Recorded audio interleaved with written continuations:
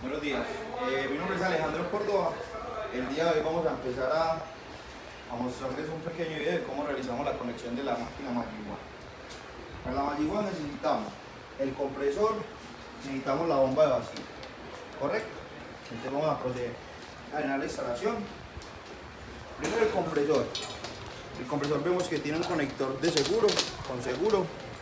Entonces procedemos a conectar la manguera en este conector ya ya queda directamente asegurado, ¿cierto? La otra la manguera vamos a conectar al costado. Procedemos entonces a realizar la conexión. De nuevo vemos que queda acá presionado. La bomba de vacío. La bomba de vacío de forma eléctrica va conectada directamente en la parte de atrás de la malla el por qué es porque si no se conecta no terminaría el ciclo, sería un ciclo continuo. Y en la parte de atrás va conectado, primero que todo, a este, a este conector de la bomba de vacío. Acá no necesitamos amarre o tuerca, porque como la bomba lo que está es de succionar, por ende no, no, no nos va a sacar la manguera.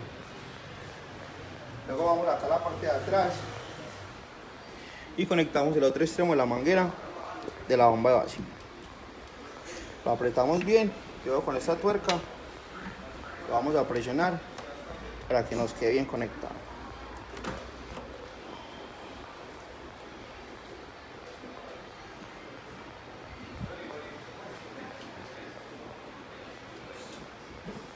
Ya nos quedó bien conectado cierto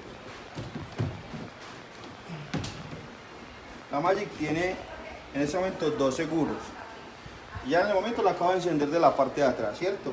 Ella tiene esos dos seguros y viene así. ¿Qué es lo que tenemos que hacer? Retirarle los seguros para que nos habilite los paneles. Les explico. Este panel es del vacío, ¿cierto? O presurización. Y este panel es para la laminación. Entonces lo primero que tenemos que hacer es lo siguiente. Vamos a prender acá el compresor. Le retiramos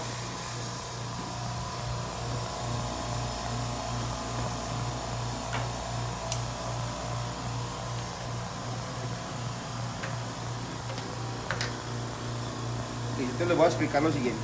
La temperatura que nosotros manejamos es de 45 grados, ¿cierto? entre 45 y 50 se puede dejar. ¿Cómo lo hacemos? Presionamos el botón de set, él nos habilita y la vamos a subir hasta 45, ¿cierto?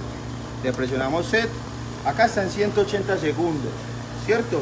Nosotros eh, esta Magic la manejamos en 999, ya dependiendo de ustedes. Eh, la capacidad que tengan o el proceso que realicen, ya van manejando pues los segundos, ¿cierto? Lo ideal es eso.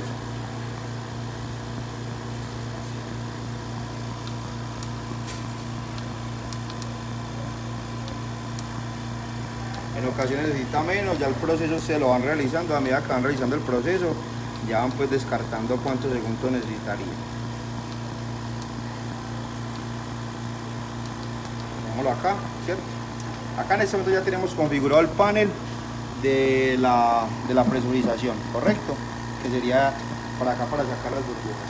Luego vamos al segundo panel, que este sería el panel de laminación. Lo mismo, presionamos set,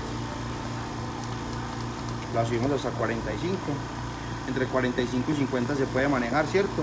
Nuevamente set. Entonces les voy a explicar lo siguiente. Acá, en este panel, tenemos que dejar presionado el botón de set. Damos presionado el botón de set, de set y él nos habilita. Acá es P0 y P1 P0 es el vacuum correcto el vacuum debe de ir. Le damos set y debe ir en 20 segundos. Presionamos nuevamente set pasamos a P1 que sería la laminación. Le damos set para que nos habilite. Y la laminación máximo nosotros la colocamos en 6 segundos, ¿cierto? Ya a medida que ustedes vayan trabajando, ya van identificando cuántos segundos necesita. De nuevo nuevamente presionamos set, ya para que nos habilite pues el pan, ¿cierto? ¿De dónde se realiza la función de las máquinas? Nuevamente, de este botón utilizaríamos la presurización, ¿correcto? Vamos a realizarlo. Ahí en este momento nos está mostrando la presión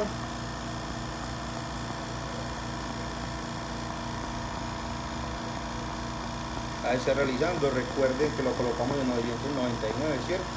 En caso tal de que necesitemos parar, parar el proceso, sabemos que presionamos este botón y pararía directamente el proceso. Vemos que acá no nos permite abrir tampoco la manija porque está realizando la presurización. El compresor de nosotros, este compresor que Fox sube hasta 120 psi para que lo tengamos presente. En este caso, el que ejerce la presión es el compresor, ¿cierto? Dado obviamente la máquina tiene, tiene un regulador de presión, ¿cierto? pero como es un compresor externo, no es interno a la máquina, el que nos ejerce la presión es el compresor. Listo, entonces, vamos a proceder eh, a esperar unos segundos. Nuevamente les indico, para parar el proceso, en caso tal, presionamos este botón y él nos pararía directamente el proceso. Es el seguro que tiene la máquina, ¿correcto? Ya despresurizó y ya la podemos abrir. Les voy a mostrar el proceso de laminación. El proceso de laminación consiste en lo siguiente. Vamos ya a, realizar el proceso de laminación. Enfócame acá por favor. Entonces vamos a presionar. Ahí lo que estamos realizando es el vacuum. Por eso el reloj gira al contrario de las mansillas del reloj. Porque lo que estamos haciendo es una succión. ¿Cierto? Ahí llegaría a 20 segundos, que es lo que le colocamos el vacuum. 20 segundos. Luego, el proceso de laminación, vemos que acá ya subió la laminación, vemos que acá tampoco nos permite, son 6 segundos solamente. Ella despresuriza, baja y ya podemos eh, sacar el teléfono. unos segundos, ya nuevamente nos soltó. Bueno amigos, este sería como el video base de la conexión y el funcionamiento. Recuerden que nosotros tienen soporte eh, constante, eh, simplemente pues es que nos llamen a nuestros teléfonos de contacto. les deseo una feliz tarde.